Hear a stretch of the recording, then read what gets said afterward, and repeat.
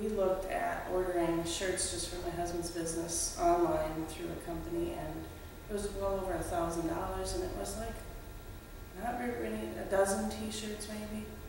And then when you get into screen printing, you have the cost of the setup fee and all that other, and you're limited to up to six colors. Where here, there's no limit on the colors. It's whatever your picture is, is what's on, what's gonna show up on the t-shirt. Basically, it's, it's based off of an Epson printer, so it's a water-based ink. What they've done now, it used to be you could only do like white or light colored t-shirts. They've added um, white, which what happens is it does a white underbase, say on a black t-shirt or dark, and then it'll do the color on top. They've came up, what it is, it's a pre-treat that you put onto, you spray the dark shirt with, just on this booth here. I've got the pre-treat in here. And we've done some samples on some lighter colored shirts, but this is like a polyester too, which they usually couldn't do either, so they came up with a pre-treat for that. It's just to get the ink to bond with the material. Yeah. Um, this is the program. So from Photoshop, I created the design, saved it, and then there's a t-shirt. This is this software that powers this machine. So I put it on here, and it's measured. And then if I hit print, it'll just send it to this machine, and then it'll show up on the screen when it's ready. You can see it there. So how long does it take to make a shirt?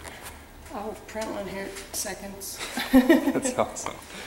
Most of the work is Photoshop. It's, yeah. I mean, you could take any picture, like I did do a sample.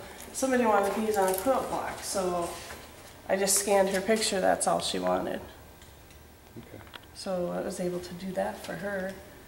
But otherwise, yeah, to make a logo or any design, that's where your time comes in. Yeah. All right, so this is ready. Just going to hit print.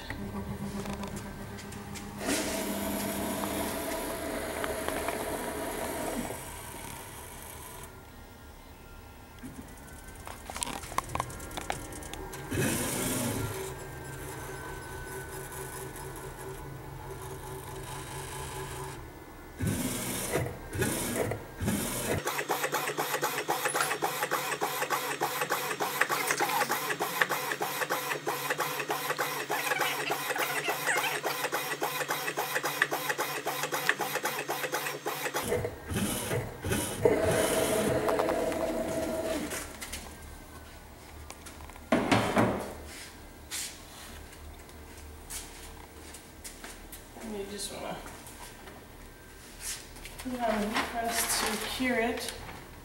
What does curing it do? It's going to put the heat down there to get it to really bond so it has better washability and hmm. the ink stays in the shirt better. That's usually 30 seconds and it's all done.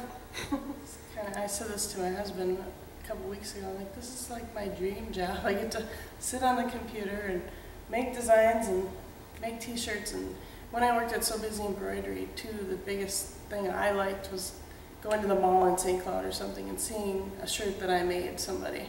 So it's kind of fun. I don't know. I like it. It's different than, you know, doing a painting and you're not going to go see it in someone's house. So, you know, it's the creative part I like.